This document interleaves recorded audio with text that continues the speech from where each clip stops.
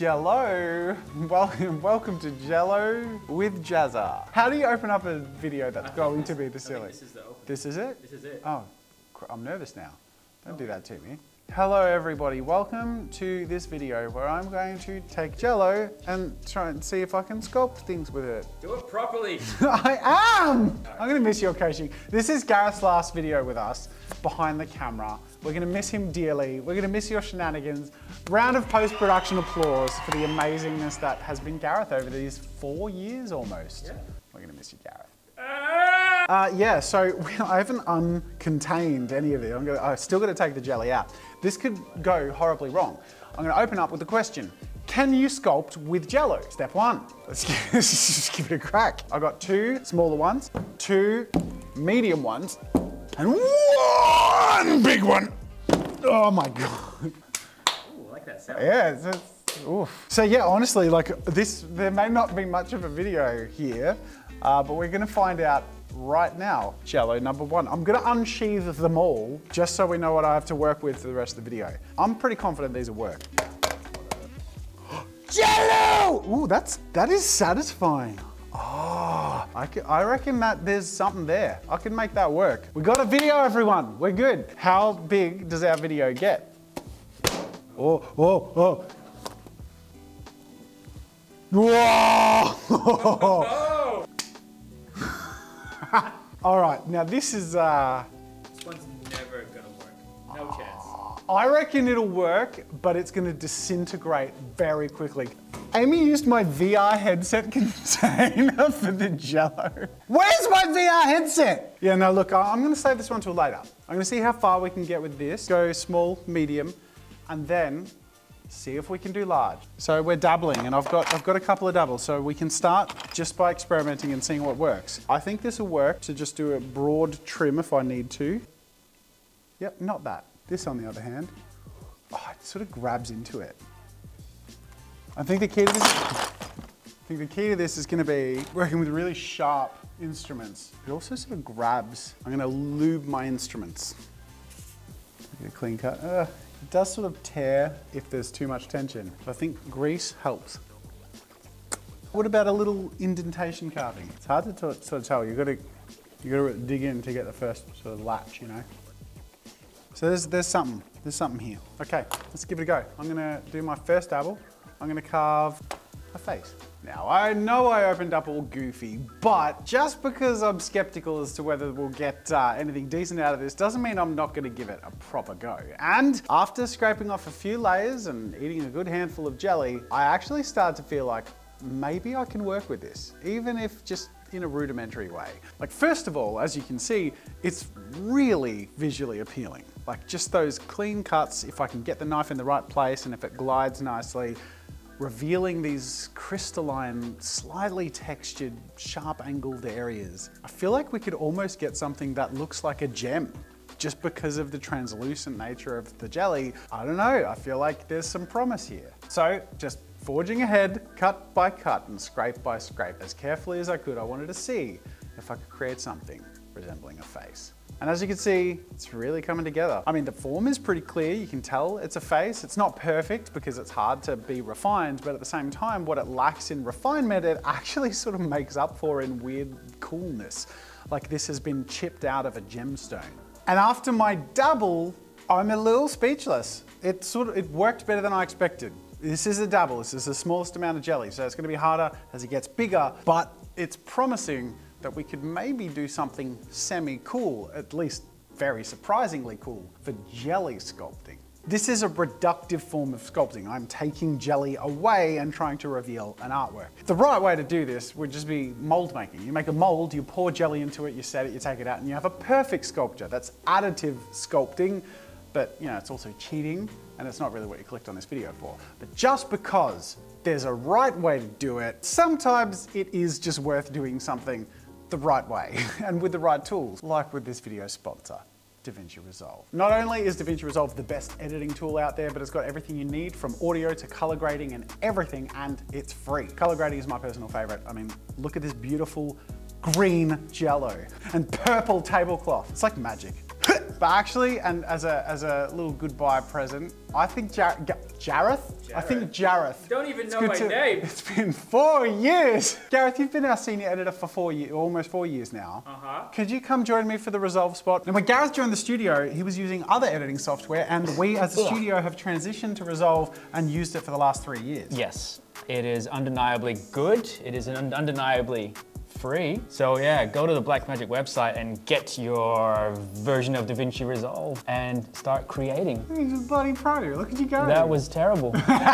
Do you edit with Resolve at home now? Of course I do. I know it can be scary to, to move over from other editing software, but Blackmagic Design is the video company. They make all the cameras we use, they make the software we use, they know video production.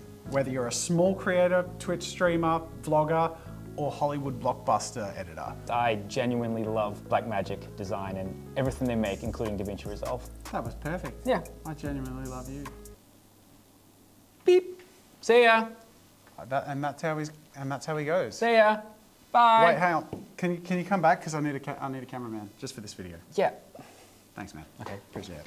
Ah! What black magic was that? Find out for yourself by clicking the link in the description. to DaVinci Resolve. It's bloody free and it's bloody awesome. Yeah, it is. Let's go medium. I'm gonna see if I can just transfer this straight onto the. Can I pick it up? this is. Uh, this is gonna hang over the edges. Yeah. I'm, I'm just gonna go. I'm just gonna go for it. Ooh. Let's see how far we can take. that. I just want to slap it. and like just massage it. This is so weird. Ooh, can I sculpt just by eating? You want to know now, don't you? Of course I will. Can I sculpt by eating? Let's find out. Epic montage time. Now, working with the medium in this way was very visceral and had me connecting to my art very directly. It was, it was empowering in some ways and really uh, upsetting in a lot of other ways.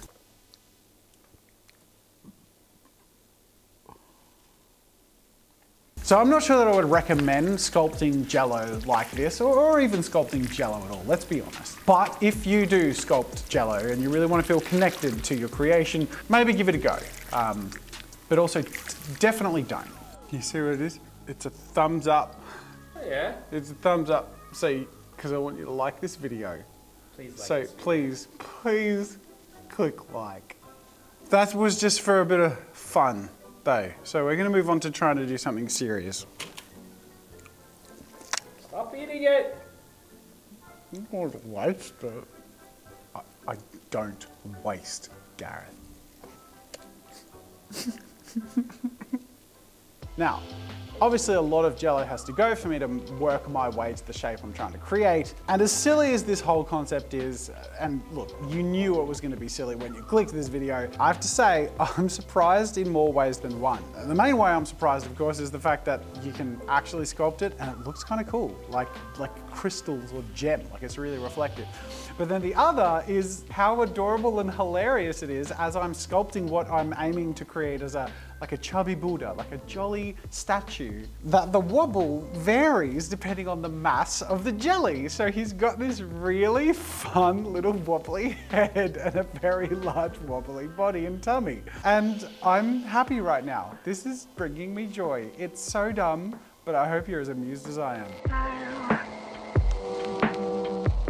Uh, um, but now it's falling apart because the weight of the jelly, uh, there must have been just a trim that it, the weight just pulled the rest of the jelly out. It won't hold. I can't like prop it up with jelly. That might have to do. But I think now we're getting at the stage. Yeah, there you go. Okay, that's part of the sculpture. It's a, it's a rock. Buddha is sitting next to a rock. Oh yeah, I can see that. But yeah, this is at the point now where like montage is over because any second now it can fall apart. Now there's not a lot of detail that we can get out of this, but I'm just gonna try and refine the remaining shapes. I want his tummy to be a little more organic looking, so I'm gonna bring this down. I knew this would be a silly concept, but even silly concepts, I try and give it a go. This is more visually appealing than I expected by a long shot. I have a lot of limitations on detail, but if I can get the right shape, like really nail the silhouette and just some core geometric shapes, it could look really cool.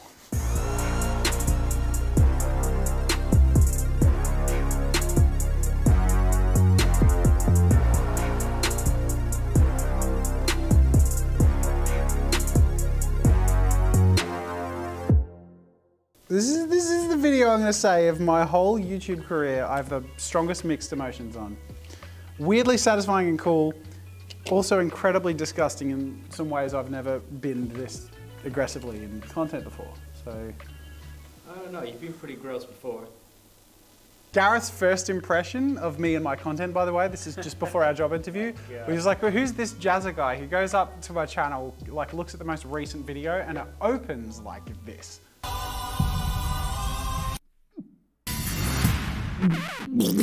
So, you know, I'm surprised you, uh, Stuck around so yeah, long. wanted the job. Let's wish Gareth luck on his journey in the comments. And wish me luck holding this thing together because I think we're done. Uh, we've got to be done because look at it, he's whole, he's, he's fallen. We need another rock. We need another structural jelly rock. This time it's behind him. I don't think it's gonna work the way the other one did. It's, she's gonna blow! Let's try and piece it together.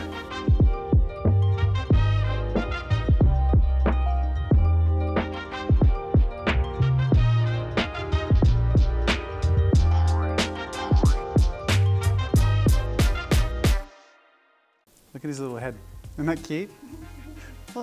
Okay, that's as that that I have pushed jelly as far as it can be pushed, uh, and it cannot be pushed anymore without literally falling apart. But you know what? I'm made by jiggly little Buddha, and I freaking love him. now, if that was the dive, who's ready for a deep dive? oh my god! Type now. Is the jelly gonna come out in one piece? Alright, go. Six seconds. This whole thing is like moving under its own weight. Oh my god.